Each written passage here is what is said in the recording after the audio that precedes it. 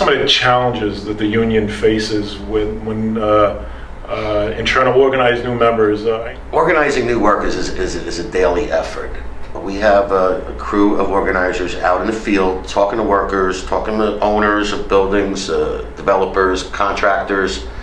The truth is, there's a gigantic underground economy operating in New York today that's very difficult to compete against. The first thing you have to understand about probably the building trades in general, but definitely District Council 9, it has always, always been about immigrants. This is a difficult way to make a living. It is dirty, it is hard work, it is physically taxing, and it is not steady work. It's very hard to make a living here.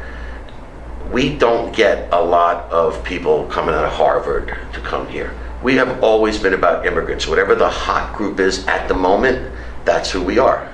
Uh, we went through the European, actually, it's the Eastern European Jews that started this when they came here. Then you had the Western Europeans, uh, Irish, Italian, Germans, Greek.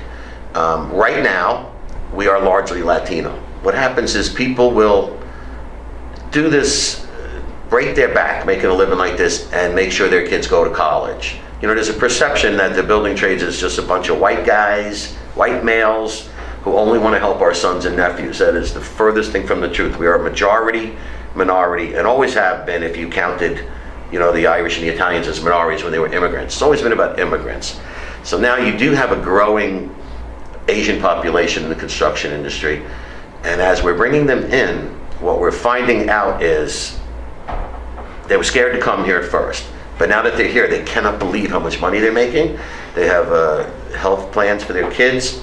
Um, somewhere off in the future for them is a pension.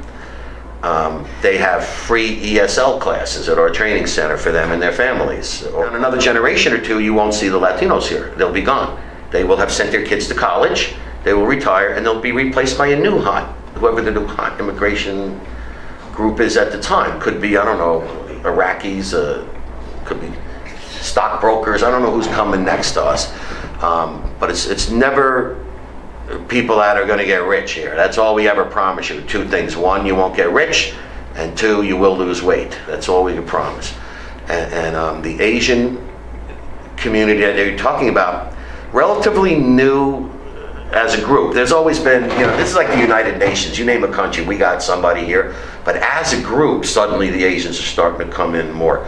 And um, I think what it's going to take is a few of them that have positive experience here and realize we're non-immigration. We, we're not here to send you back where you came from. Uh, we just are here to offer you fair day's pay for fair day's work, nothing more. We, we never promise anything more than we can deliver. And I think we get a few success stories and they'll, they'll spread the word the same way every other group came through here. So, you know, yeah, there's cultural issues, but I think it gets dealt with among the group. A couple of people have to come here and have a positive experience. There is no group that intrinsically is better at construction than any other group. What we typically get are the people who don't have opportunities anyplace else. We're happy to, to bring you here and teach you from the ground up. What are the union's uh, main organizing drives this year? That, that's a good way to put it when you say this year. Organizing should be more universal um, unfortunately, you know, you find yourself caught up in in just scrambling against what you know. You, are putting your fingers in dikes all the time. Um, there are some national campaigns. There are particular companies that are bad everywhere, and, and we have um, a common enemy with our sister councils in other states. Uh, the one that comes to mind is uh, Pulte Home Builders, are all over the country. Um, bad, bad actor. But you know, it's sort of like Walmart. You would say Walmart is a national issue, and and um, and, and everybody's always focusing on that. Now, right now, our biggest problem right now is people taking advantage of the economy, and and where they believe that workers are happy to just have a job, and I'm going to give this guy a 20% pay cut, 50% pay cut in some instances. On the other end of 14th Street is a large large housing development, Peter Cooper Village, uh, Stuytown. Same workers have been there for 30 years. They suddenly decided as the contract ended that they deserve 50% of what they were making. Now, I don't care what you make, 50%, you know, your bills kind of come up to your salary. It's impossible to work for that. So the, the, this is a strange situation where they overpaid for the, for the property and now they're trying to cut corners everywhere they can. Um, so the, the uh, management agent there, uh, Rose, Adam Rose Associates, is uh, the number one target for us right now. Where everywhere he is, we will have guys in front. Uh, you'll see with that blow up rat and uh, you know picket lines, um, and, and he is a symptom of a larger, larger issue, which is residential uh, construction and, and um, current residential buildings as a whole. Uh, little by little, they are also trying to cut back salaries for everybody. You know, they're cutting back their painters, their doormen, their their uh, supers, and janitors. Everybody, they think because in this economy you're scared to to lose your job, you'll you'll work for 80%, and they're trying to take advantage of, of a situation.